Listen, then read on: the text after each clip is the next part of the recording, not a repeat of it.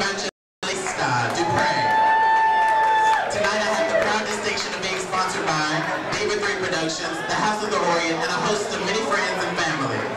I'd like to leave you with this one thought.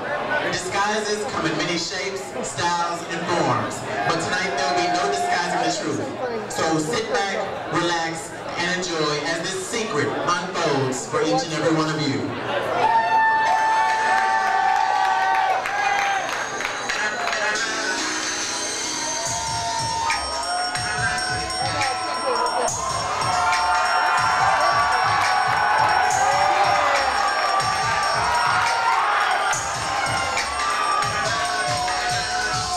an angel.